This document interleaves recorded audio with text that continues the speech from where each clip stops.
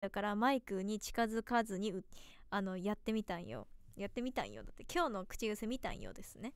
やってみたんですけど近づけるとさすごいラジオ DJ 感のあるさ声だよね。ファーストテイクやりそう。ね本当に。ファーストテイク味があるけどまあちょっとまあ顔にかぶっちゃうのでこの辺に置いときたいと思います。ここでもだいぶさ音入るよね。声がいつもよりふわふわしてる？本当？声がいつもよりも多分ちょっと息っぽい感じがする。なんか私いつもあのこんなに自分の声聞こえずに言ってるからなんかちょっとなんかかしこまって話しちゃう気がするね。マイクでお話し中ってかマイクでお話し中って書こう。マイクでお話し中？FM っぽい。話し方がすごく優しく感じる。なんか自分で声か声聞いてるからさなんかちょっとさあのかしこまってさ言っちゃうね。なんかいつも結構さこうバサバサバサって感じで話しちゃうんだけどこんな感じで話してるんですけどなんかここに来ると急にちょっとなんかいい声出したくなっちゃう。こんばんは。マイクに触ったら ASMR できそう。なんか ASMR できそうじゃないですかこれ。ちょっとでも今食べれるもんね。あ待って。この音よくない？レジ袋。レジ袋。私が。私普段あんまりレジ袋もらわないんですけど今日急いでて。どうしてもカバンの中に入らないからちょっとねいい音ではない？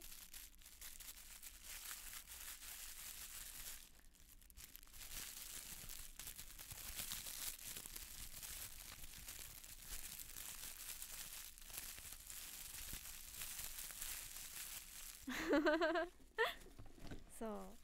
あと何？なんだろうね。あグミあるグミ。最近私がハマっててこの間デカめのコンビニに行ってようやく出会えたこのスイッチキューブってやつ。じゃ ASMR できそうですよね。でもなグミだからそんなにさなこの辺の音がいい感じ？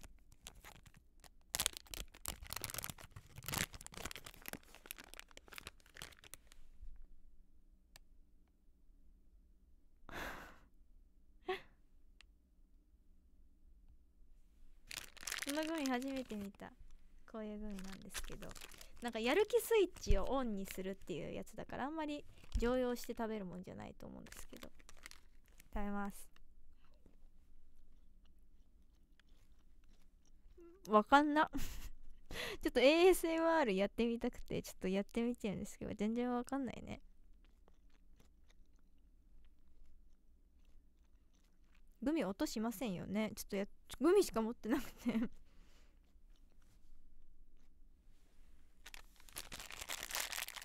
こっちの方が音するね。だってもう持ってないもん今日何も。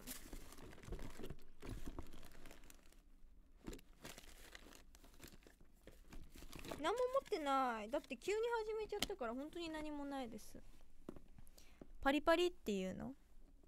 パリパリって聞きたいけど何も持ってないから何も食べれない。水飲む音とか？話し方戻った？いつものね配信みたいいつもの配信の声に戻りますね。お水飲みます。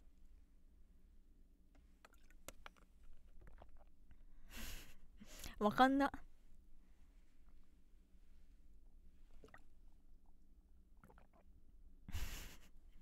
下手か？下手じゃない？何の音も聞け聞こえんくない？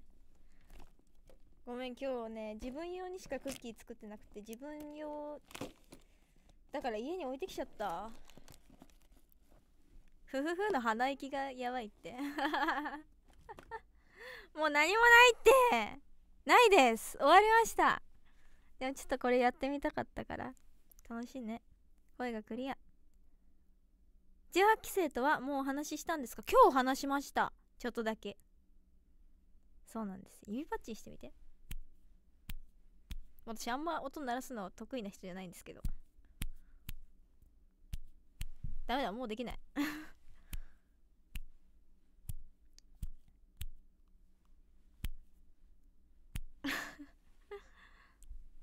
ふくらじよりラジオ感ある。ふくらじはねまあサテライトですしなんかそんなにラジオ感っていうよりもねなんか羊数えて。え何それかわいい。うさぎちゃん。うさぎちゃんが歩いてるよ。羊が1匹羊が2匹ウィスパーでできるのさ楽しいよねあるよねこういう番組ウィスパーでアイドルの方とかが喋ってるやつこういうのいいよねでも肝心の食べるものが何もないんだよちょっとでも昼食べ損ねちゃってさっきサンドイッチ食べたのでもさサンドイッチだけじゃ絶対足りないじゃんだけどさもう食べれないもう食べれないっていうかもう時間的にさスープぐらいしか飲めないよね悲しよね。この声のボリュームいい感じ。ありがとう。嬉しい。こそこそ喋ってるやつ。なんかマジ今日お姉さん全然お姉さんじゃないよ。嘘やん。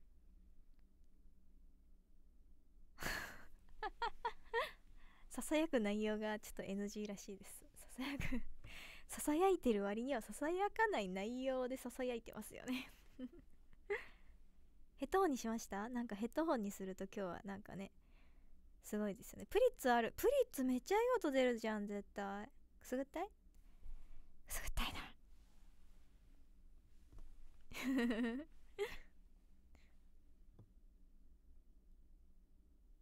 ね。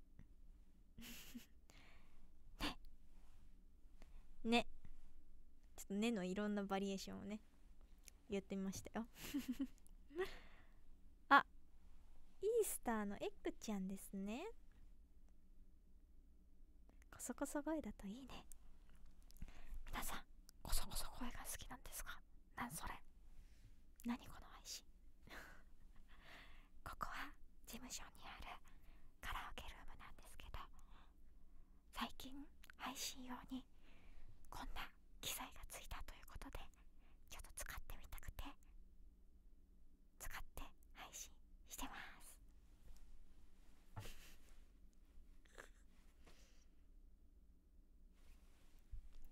今日はとあるものの収録だったんですけど皆さんが見れる機会はいつかなどうかなそして皆さんが待っているあれもこの間収録してきましたやったーパチパチパチパチそしてなんとそれともう一つ私は何かがあるんですねさあ何でしょう楽しみだね ASMR かな ASMR かなあれは来週もうなんか出てた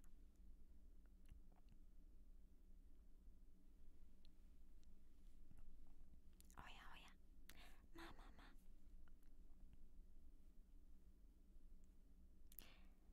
こそこそ告知ですこそこそ推測あ推測なんだささやき声で眠くなってきた今何時みんな今何時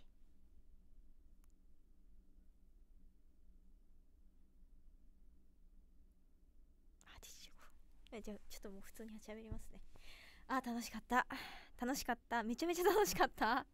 なんかさこういう風にさ遊ぶのめっちゃ好きなんですよね。楽しくない ?8 時15分8時15分の初恋は。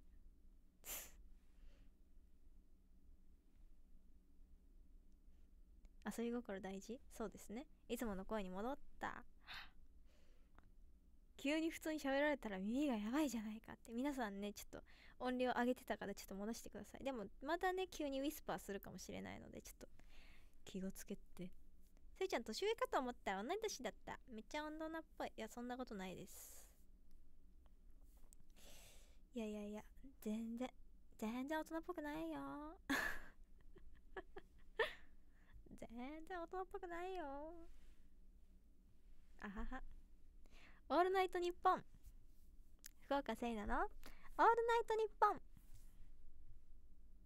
オールナイトニッポンってどんなジングルだっけ？ねなんか雑？えこういう感じじゃないジングルって。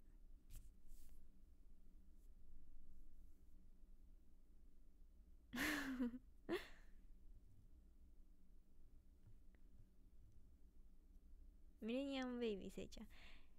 いやだってさ私2000年生まれじゃないですか。で入ってきた子14歳の子がいるんでしょ？14歳ってことはさ次中 3? かな？ってわけだからさ、まあ、つまりさもうさ何個違いよ？え？ってならん？私でえ？待って何個違い？8? え？9? え？9個違い？8? 9?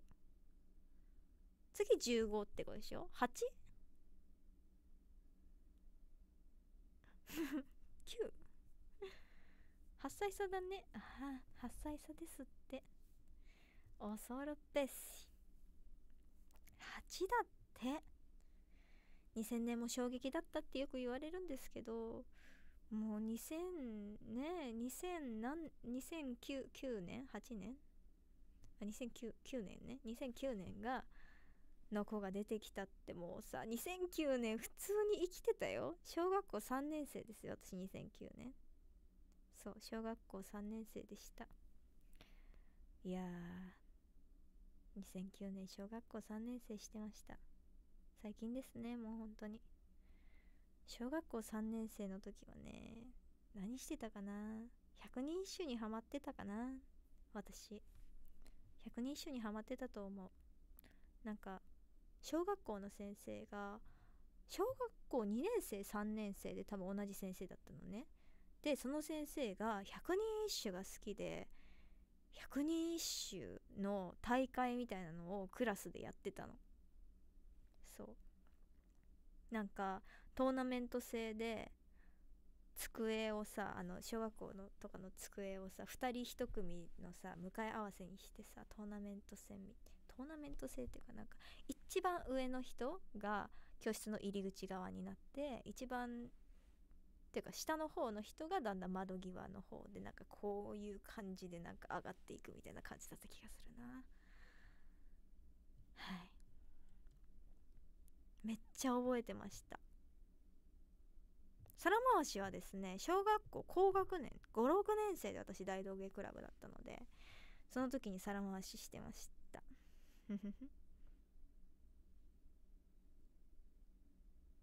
何の時間にやってた？国語？いや道徳とかなんかなんかよくわかんないけどその先生え何の時間にやってた国語かな？わかんないけどなんかそのぐらいの時にやってた気がしますね。いや懐かしい。大道芸クラブっていうのがあったんですよ。我が我が学校には。ちょっとなんか詳しく言うとあのバレそうだからやめときます。はい。あ違う。小学校45年生でやってたんです。56年じゃないわ。45年生でやってたの。確かあ 46? え45年生かな？なんかね6年生だかね3年間456年生がクラブ活動っていうのしてたんですけど最後だったかな5年生だったかなでね私パソコンクラブ入ってるんですよ。なんで急に君パソコン大道芸やってたのパソコン入ったのって思いますよね。ちょっとパソコン打ちたかったんですよね。パソコンクラブ入った割にはパソコン別に打てるようになったかって言うとそうでもないっていう。まあまあって感じですね。あの見ずには打てないですね。一応なんかパソコンのキーボード使って打ったりはしてますけどそんなに？なんだっけ？あのソフト一太郎一太郎だっけ？なんか使ってさやってましたね。懐かしいな。そう多分45年生で大道芸クラブやってたの。で6年生だけパソコンクラブやってたんだよ多分。パソコンクラブはニコニコ動画見る時間？えニコニコ動画は見てないですねさすがに。一太郎だよね。一太郎。一太郎じゃない？ソフト。一太郎。ちょっとワープロっぽいやつ。あそう。あれだよ。パスワードシリーズにハマってパソコンクラブ入ったんじゃない？私。そう。パスワードシリーズっていうあの青い鳥文庫かなんかの小説があるんですけどそれにハマってあれってワープロでなんかいろいろワープロで友達とつながっててその仲間といろんな事件というか謎解きをしていくみたいな感じのお話があるんです。パスワードシリーズっていうのが。あってそれにハマってて多分パソコンクラブ入ったんじゃなかったかな。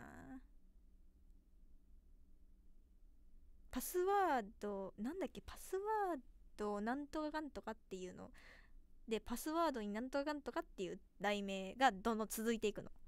パスワードになパスワードに何だったか惑わされないでみたいなさそんな感じのなんか気をつけてパスワードに気をつけてとかの題名で多分あったんだよな。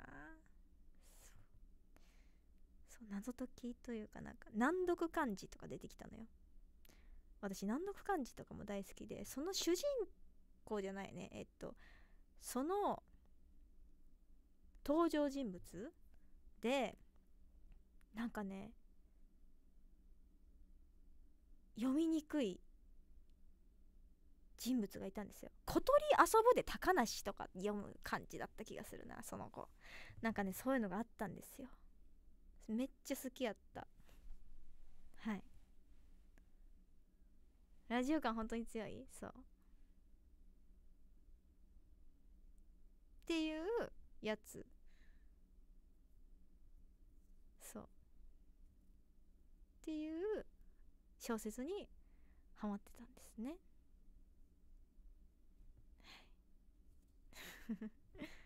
好きでしたね。あらすじ読んできた結構面白そうじゃないですか。そうなんですよ。あ月見里で山梨とかだったっけ？高梨だなかったっけ？なんかわかんないけど。なんかわかんないね。と全然わかんない。適当に答えでもそそんな感じですね。はい。きっとそんな感じ。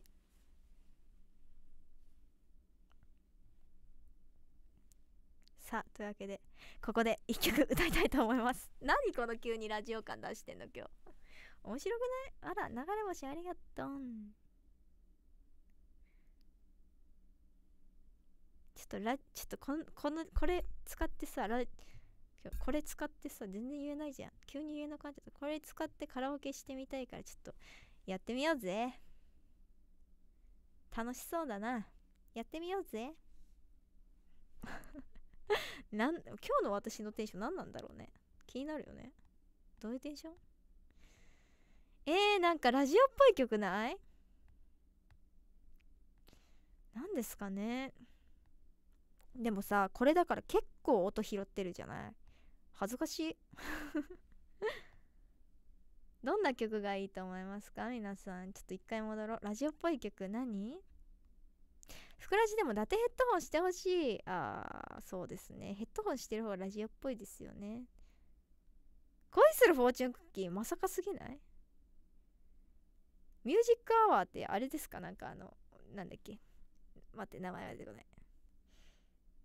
えー、っと待って。頑張って頑張って答える。ポルノグラフィティさんじゃないっけ？なんか曲あるよね。ラジオ DJ みたいな曲あるよね。ポルノグラフィティさんで。ね。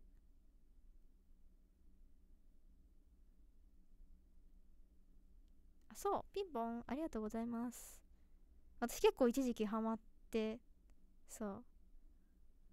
聞いてましたよ。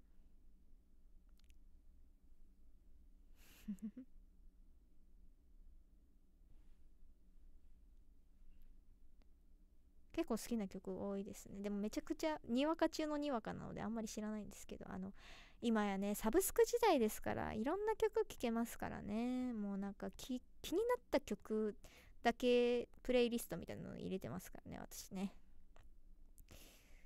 何歌おうかな。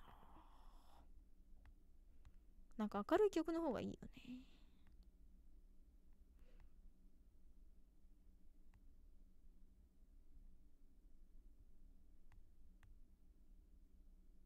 なんかラジオ感ラジってラジオ感っていうより昔のラジオ感。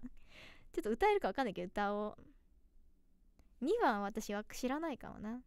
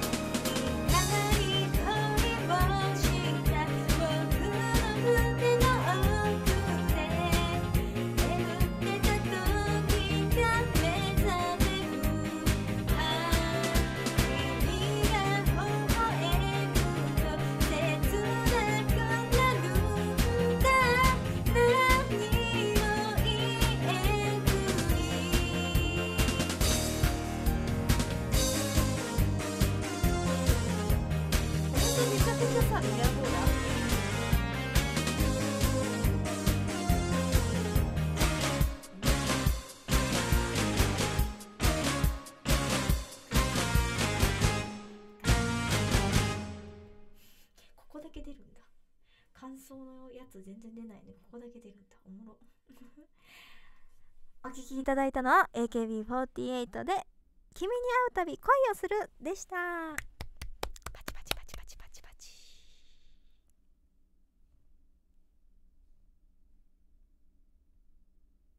面白いね。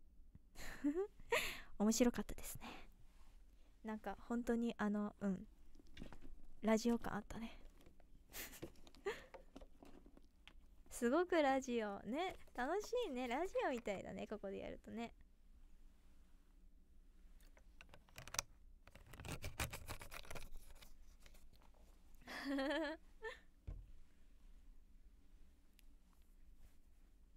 めっちゃある。ね。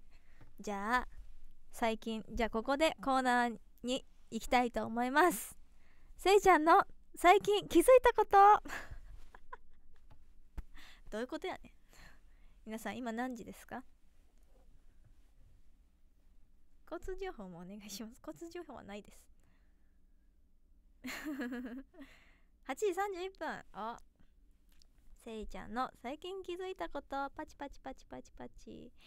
えー、私福岡せいなが最近これってこうなんじゃないの？って気がついたことを皆さんにお届けするというかあのどうなんだろうっていう意味も込めまして皆さんに聞いていただくというコーナーになっております。さあ今月の今月の？今日の？せいちゃんの最近？気づいたことは？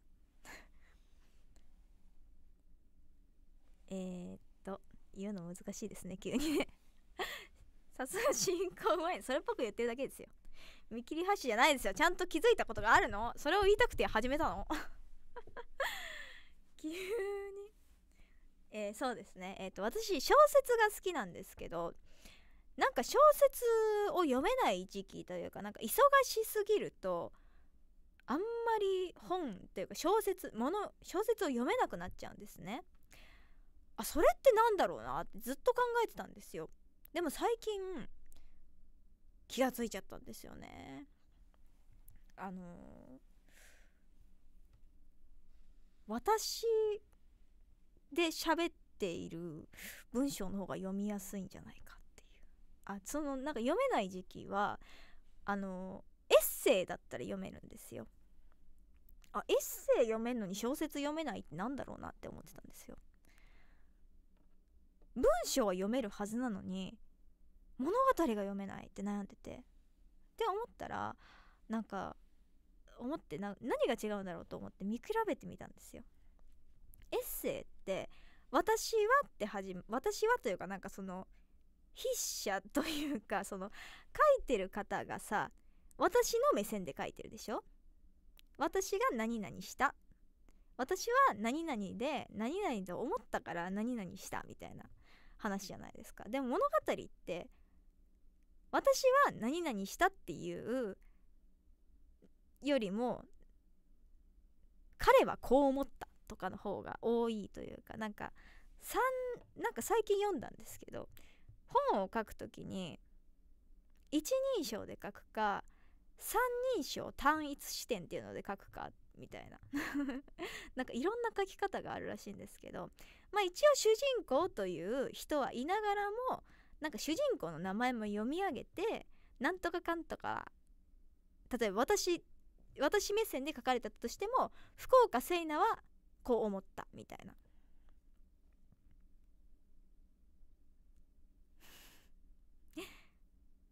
て書くじゃないですか。で「私は」って書いてある文章ってそのまま読めるじゃないですか。でも福岡聖奈はこう思ったって書かれると一回さ考えなきゃいけないじゃない？なんか私とその本との間に空間ができるの。考えてる。はあって思って。で私の好きなね作家さん吉本ばなナさんの本めちゃくちゃ好きなんですけど疲れてる時こそ読めるんですよ吉本ばなナさんの本って。なんでだろうって思ったらわりかし私はみたいな感じで始まってる気がする。そんな気がした。なんかちゃんと前に確認した時そうだった気がするんだけどちょっと最近というかこの間それに気づいた時読んだのか分かんないんですけど。そう。そのまま読めるものだったら疲れてても読みやすいというか何て言うのかな。そのまま物語が入ってくるだなみたいな。あそう多分そうなんですよね。疲れてると脳の想像力の空きスペースが多分ないんですよ。想像力があのー、働かなくなっちゃうんですよ。もう思考停止しちゃうの。だからあのー、エッセイだったらその作者の思考が動いてくれてるからはあへえって共感そのまま共感できる。っていう。へえって思いましたよね。私が。あと基本基本的にというかなんか私個人的に女性作家さんの方がなんか個人的に肌に合うなって思ってたんですよ。その理由もなんかそのその理由としてはあの逆にあのその三人称単一視点みたいなのが書かれてるんですよね。でも主人公はちゃんといてその人の感情もちゃんと書かれてるみたいなのが読みやすいなっていう思っていて結構女性作家さんだとそういうのが多いなって。なんか福岡聖奈はなんとかかんとかでこう思ったみたいな。なんとかかんとかだったんだろうなみたいな。なんとかかんとかやめなさいよってちょっとなんか説明するのが下手くそなんですけどでも逆にあの女性作家さんじゃなくてもそういう風に書いてくださってる方あの浅井亮さんとかの小説なんか読みやすいなって思ってたんですけどあ私この書き方が読みやすいんだみたいな感じに思いました。気づきました。でもなんか読みやすいものばかり読んでても多分きっと私の書き手書き手っていうとなんかちょっとあれなんですけど私の書き方とかもきっとあんまりあのー、進化していかないだろうなって思ったので逆にその勉強する意味でもその何て言うのかな。違う系統の小説も読んでみようかなって思ったところですはいなんとなく伝わりましたでしょうか？どうでしょうか？以上せいちゃんの最近気づいたことでした。なんかこうやってさ言うだけでさ本当にさあれなんか面白くない？あのラジオっぽくなってるのめちゃくちゃ面白くない？絶対これ話しててさあの笑ってる人いるでしょ？子供だなって思ってる人絶対いるはずなんですけどまあ私が最近気づいて誰かに話したかったことなんで。まあ、皆さんの受け取り方はお任せします。ここでリップを塗ります。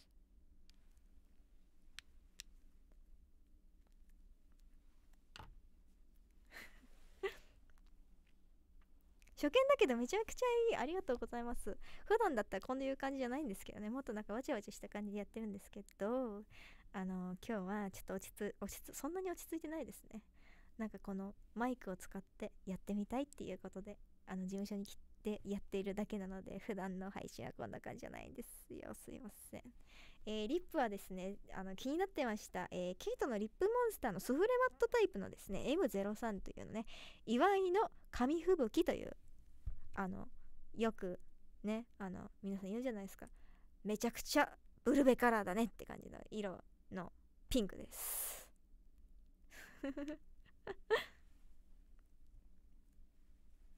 コマーシャル。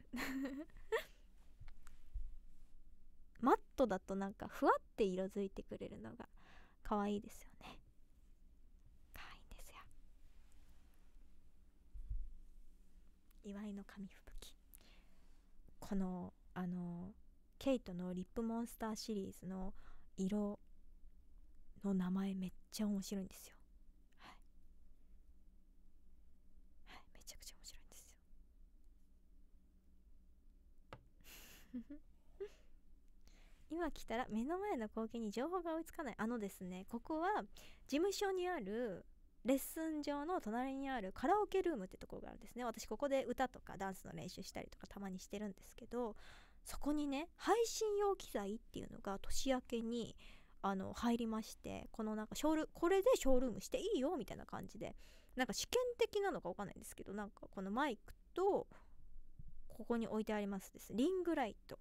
めっちゃ綺麗に映るねこのリングライト。このリングライトめっちゃいいな。上から照らすのが一番綺麗に映るらしいんですけどこのリングライトめっちゃ綺麗に映るね。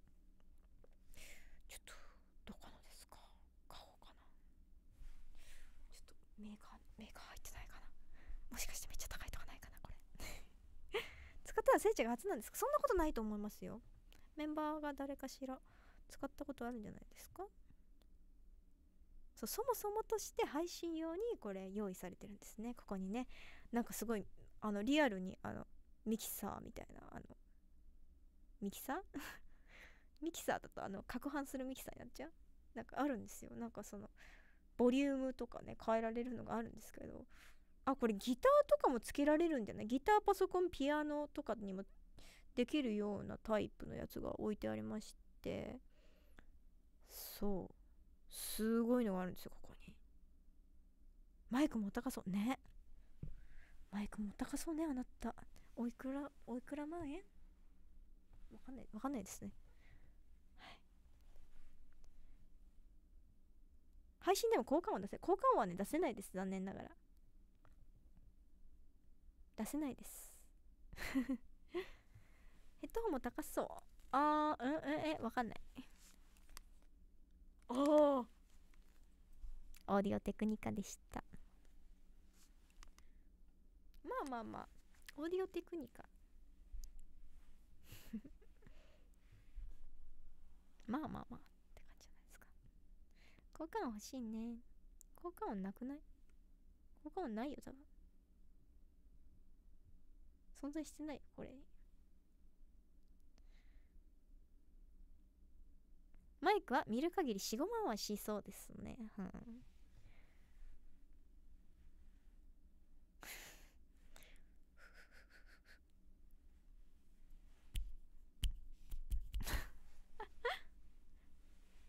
なんかこれこれさ消毒液なんですけどシュッとか音聞こえないか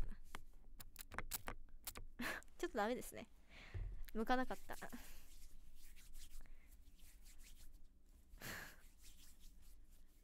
消毒液使ってみたけどシュッて音あんまりちょっと上手に上手にできなかったですね。残念。だって食べるもの持ってないもん私も。iPad とかで効果音用意したらつなげそう。あー。へえなんか面白いね。面白いね。皆さん今何時ですか？普通ラジオ DJ が今何時ですって言うはずなのにさ逆にさ今何時ですかって聞く DJ8 時44分。ここはなんと9時までしか使えないので9時には終わるよ。てか8時56分ぐらいに終わんないと。タイムキーパーよろしく。お袖がタイプ。すごいねベロベロなんですよ。でも聞いて悲しいの。さっきねあの今日照り焼き卵のサンドイッチ食べてたんですけど汚しちまいましてレースの部分を汚しちゃったんですよ残念ながら。お家に帰ったら頑張って洗浄したいと思います。なんかあのねパナソニックシャープどっちだったかなのなんか超音波洗浄みたいなのがねあるんですよ。めっちゃおすすめです。染み抜きめっちゃおすすめです。調べてみてください。超音波洗浄みたいなやつ。そう。せいちゃんかけるマイクに無限の可能性を感じる。さあ行こう。無限の彼方へ。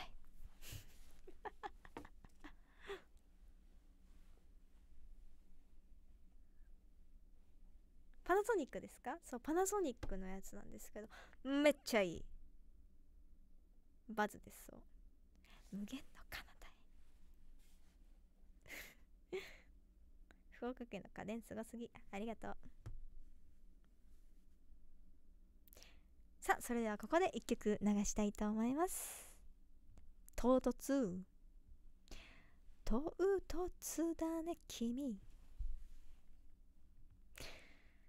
なんか最後の曲っぽいのないですか？最後の曲なの？ってね。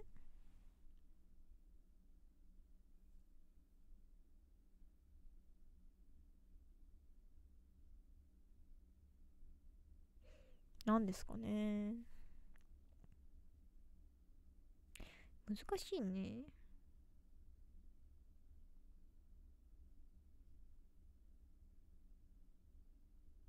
あぽいめっちゃぽいぽいです。ジングル。これじゃんジングル。これだったよね。かけます。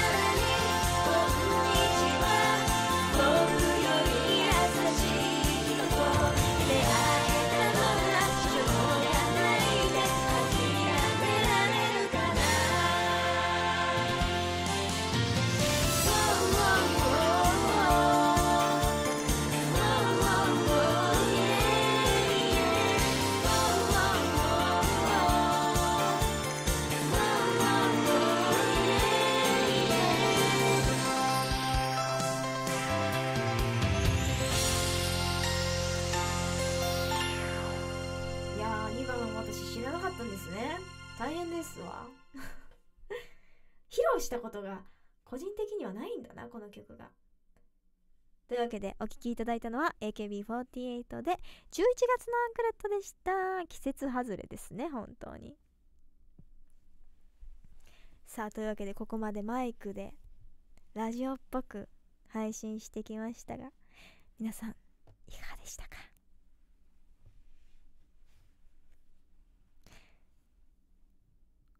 エンディングのコーナーですか？かがでしたでしょうか？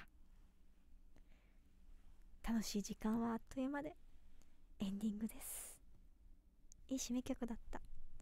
そろそろ CM のお時間ですね。えこれめっちゃいいね。ちょっとたまにやろうかなこれ。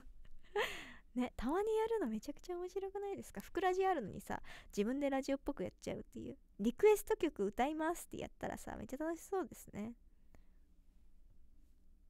えー、また時々ヘッドホン配信よろしくお願いします。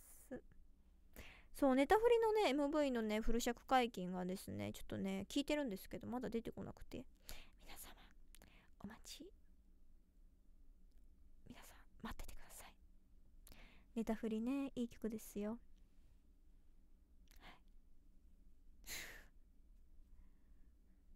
日一配信しましょう。せいちゃんのおはようラジオかっこかり懐かしいエモいつやってたの？16歳ぐらいだよ。寝たふりするのはもうやめよう。本当の気持ちは眠らない。好きになってしまったのはそう誰のせいでもなくて私がいけないんだ。ネタフリするのはもうやめよう。眠くないって知っている。自分にまで嘘をついて余計を待つなんてそうバカバカし。いかっこつけてるだけ。急に最後のジングルのように歌い出しました。というわけで以上ネタフリでした。番組名は決めない？急急に番組名とか決めちゃう？なんそれ？急にアカペラ入りました。ありがとうございました。アカペラ。さあというわけで皆さん今何時？遅いよラジオで笑う。もう9時ですからね。フル尺で歌ってください。あすいませんでした。フル尺は私最初のねセリフがね歌えないっていう。53分。そろそろ。せいちゃんの新設備でやってみた。エンディングですね。皆様初めてこんな感じでお届けしましたがいかがでしたか？個人的には結構楽しかったですね、エンディングのお時間です。それでは最後に提供の 提供って言うな。みーが心地よかった。ありがとうございます。いい感じのテンポでよかった。ありがとうございます。面白かった。ありがとうございます。それでは最後に提供のないしランキングの発表です。また聞きたい。ありがとうございます。えー、1位くんやんさん2位陽太郎さん3位よっすさん4位星広さん5位としのりさん6位リバーサルマーとひろすけさん7位よっぴーさん8位まさあきさん9位ずっとたんおしパピさん10位ゆきたんさん11位空耳さん12位つよぴーさん13位鳥さん。そして応援していただいている神田そして応援していただいている皆さんの提供提供じゃないです。皆さんの